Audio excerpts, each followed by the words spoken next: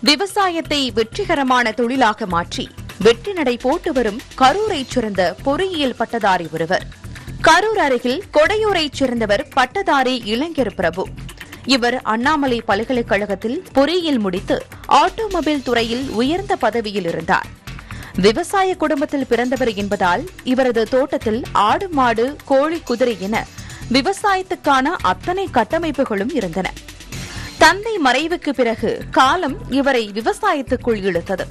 முதலில் விவசாயம் குறித்து பெரிதாக எதுவும் தெரியாத நிலையில் பின்னர் படிப்படியாக கற்றுக்கொண்டு கடந்த பத்து ஆண்டுகளாக வெற்றிகரமாக விவசாயம் செய்து வருகிறார். அப்பா சொல்லி கொடுத்ததும் எங்கள் அண்ணன் சொல்லி கொடுத்தது எங்கள் அம்மா கொடுத்த சப்போர்ட்டு இதெல்லாம் வச்சது ரெண்டாயிரத்தி பதினாறில் என் ஜாபை விட்டுட்டு ரெண்டாயிரத்தி பதினாறில் நாட்டு மாட்டு பாலை வந்து சேல் பண்ண ஆரம்பித்தேன் ஆரம்பிக்கும் போது ஒரு லிட்டர் பால் எழுபத்தி ரெண்டு ரூபான்னு கொடுக்க ஆரம்பித்தோம் கொடுக்கும்போது எங்ககிட்ட இருந்தது வந்து வெறும் மூணு மாடல் தான் ஆரம்பித்தோம் அது ரெண்டாயிரத்தி இருபதில் நான் பால் கொடுத்துட்டு இருக்கும்போது என்கிட்ட இருந்த மாட்டோட எண்ணிக்கை வந்து முப்பத்தி ஆறு மாடுங்க இருந்தது. ஆனால் தொண்ணூறு லிட்டர் அப்படின்னு சொல்லிட்டு ஒரு லிட்டர் பாலோட ரேட்டில் வச்சு விற்றுக்கிட்டு இருந்தோம். நல்லா சேல் ஆகிட்டு இருந்தது நல்லா போயிட்டு இருந்தது. தோட்டத்தில் உள்ள ஆடு மாடு கோழி மற்றும் குதிரை என அனைத்தையும் வருமானம் தரும் ஜீவராசிகளாக தனது புத்திசாலித்தனம் மூலம் மாற்றினார் பிரபு. ஆனால் யானைக்கு அடுசொருக்கும் என்பதால் கொரோனா காலத்தில் பிரபு பல இன்னல்களை சந்தித்துள்ளார். பின்னர் அதை எதிர்கொள்ள கற்றுக்கொண்ட பிரபு வீடுகளுக்கு சென்று பால் ஊத்துவது ஆடு கோழி இறைச்சிகளை விற்பனை செய்வது என்று வருமானம் ஈட்டியுள்ளார். பின்னர் ஆப் மூலம் ஆர்டர் எடுத்து தொழிலை மேலும் விரிவுபடுத்தியுள்ளார்.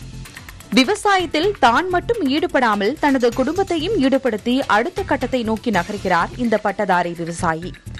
தினசரி பால் மூலம் வருமானம் நாட்டுக்கோழி விற்பனை மூலம் வார வருமானம் ஆடுகளை விற்பதன் மூலம் மாத வருமானம் என வருடா வருடம் வருமானம் வரும் வழிமுறைகளை மாற்றியுள்ளார்.